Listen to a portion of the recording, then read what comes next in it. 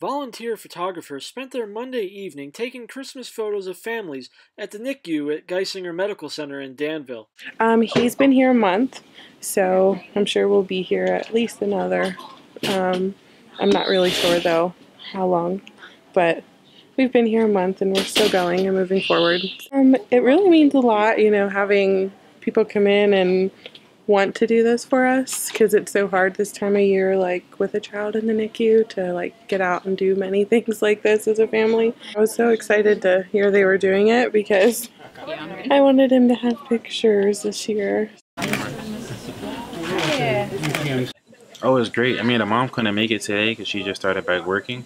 But just for me to be here with him for his first Christmas and to have like that experience, even though he probably won't remember it, but he can have the photos to look back at it when he gets of age.